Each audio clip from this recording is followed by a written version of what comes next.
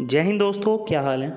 दोस्तों, आज मैं आपसे बहुत ही इम्पोर्टेंट बात करने वाला हूँ और ये वीडियो उन लोगों के लिए बहुत ही इम्पोर्टेंट होने वाली है जो कि लोग पसंद करते हैं अपनी बुलेट 350 को। देखिए दोस्तों, ये एक ऐसी बाइक है जिसने रॉयल एनफील्ड को सही मायने में पहचान दी। आज भी बहुत सारे लोग हैं ना, सच बता रहा हूँ क्लासिक 350 वगैरह को जानते ही नहीं, उनको सिर्फ़ एक नाम पता है, बुलेट।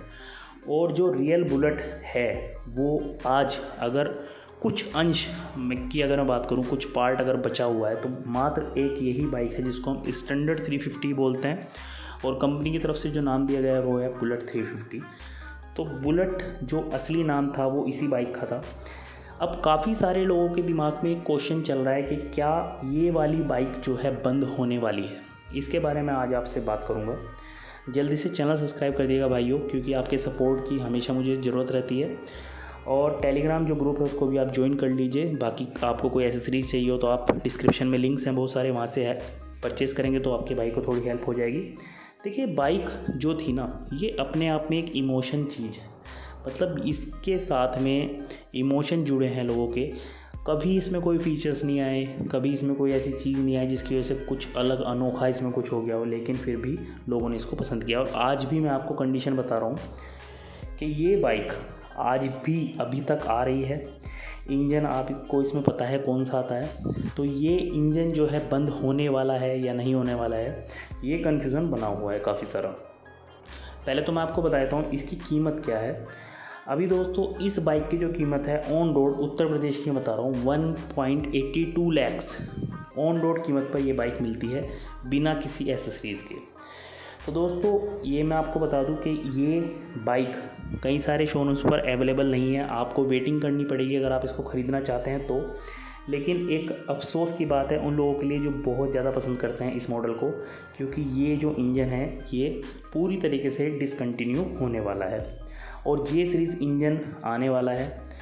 जे सीरीज़ के ही इंजन ही क्लासिक 350 रिबोन मीटियोर 350 जिसमें आपने देखा होगा जे सीरीज़ वाला इंजन वो ही इंजन आने वाला है। उसका बहुत बड़ा एक रीज़न ये है कि जो पोल्यूशन नॉर्म्स होते हैं गवर्नमेंट के उस पर पूरी तरीके से खरी उतरने के लिए रॉयल फ़ील्ड को ये करना पड़ रहा है।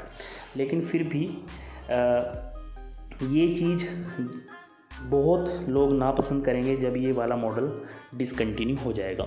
अब आपके दिमाग में एक सवाल ज़रूर आ रहा होगा कि अगर ये वाला मॉडल डिसकंटिन्यू होगा तो जो हमारा बुलेट 350 इलेक्ट्रिक स्टार्ट है या कई सारे लोग उसे इलेक्ट्रा के नाम से जानते हैं तो क्या वो वाला मॉडल भी डिसकंटिन्यू हो जाएगा? जी हाँ दोस्तों, वो वाला मॉडल भी डिसकंटिन्यू हो जाएगा और उसमें भी जो नया मॉडल आएगा, वो भी जे सीरीज़ इंजन के साथ में ही आएगा। तो कई सारे लोगों के दिमाग में ये भी क्वेश्चन इस बात से उठा होगा कि जो साउंड है, वो भी क्या चेंज हो जाएगी? बिल्कुल, ज़ाहिर सी बात है कि जब जे सीरीज़ इंजन आ जाएगा तो ये वाली जो आप अभी जो साउंड बना पाते हो इंजन से या मिल जाती है किसी भी तरीके से, वो नहीं मिल पाएगी।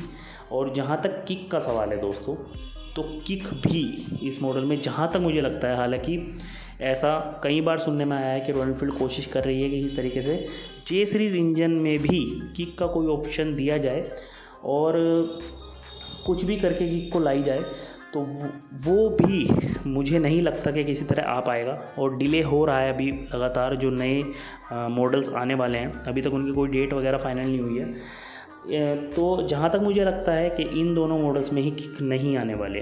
अब जब किक नहीं आएगी तो सेल्फ आएगी और अगर सेल्फ आएगी तो सीधी सी बात है सिर्फ़ एक ही मॉडल बुलेट 350 का आएगा, जो कि सेल्फ के साथ में आएगा।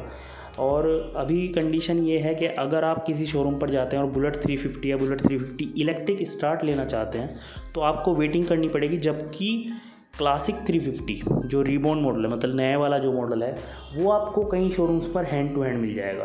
तो आप समझ सकते हैं इन दोनों मॉडल्स की डिमांड कितनी ज़्यादा है। तो यहाँ पर ये चीज़ उन लोगों को बहुत ही परेशान करने वाली है, जो आगे के लिए प्लानिंग बना रहे हैं कि कब इस बाइक को ख़रीदा जाए, जल्दी जल्दी पैसे इकट्ठे कर रहे हैं या कोशिश कर रहे हैं कि भाई इस बाइक को ख़रीदा जाए।